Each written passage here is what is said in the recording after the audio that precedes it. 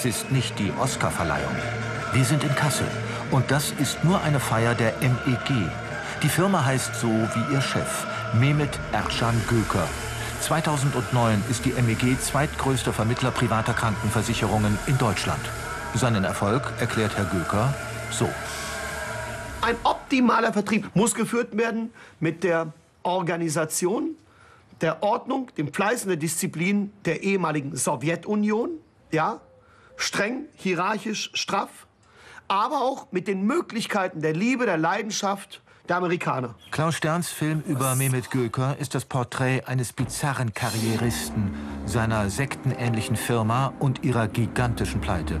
Und er ist die brillante Studie einer Branche im Vollrausch, die jahrelang von ungebremstem Wachstum träumte.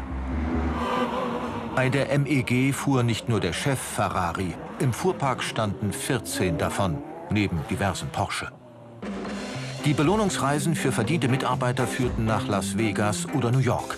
Check-in im Waldorf Astoria, danach Boutiquenbummel. Dann geht man zu Gucci, dann geht man zu Armani, dann kauft man nicht für 3.000 Dollar, kauft man für, für 13.000 Dollar, für 30.000 Dollar.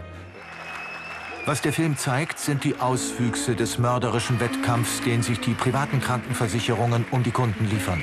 Jährlich geben sie über 2 Milliarden Euro für Provisionen aus. Profiteure sind die Versicherungsmakler. Für die Vermittlung eines einzigen Kunden kassierte die MEG bis zu 8000 Euro. In der Hoffnung auf noch mehr Verträge zahlten die Versicherungen der MEG sogar Vorschüsse im zweistelligen Millionenbereich. Doch statt neuer Verträge kamen immer weniger. Immer mehr Kunden realisierten, dass ihnen Versicherungen zum eigenen Nachteil aufgeschwatzt worden waren.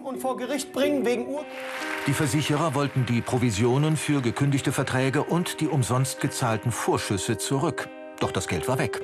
Verjubelt. Im Herbst 2009 muss die MEG Insolvenz anmelden.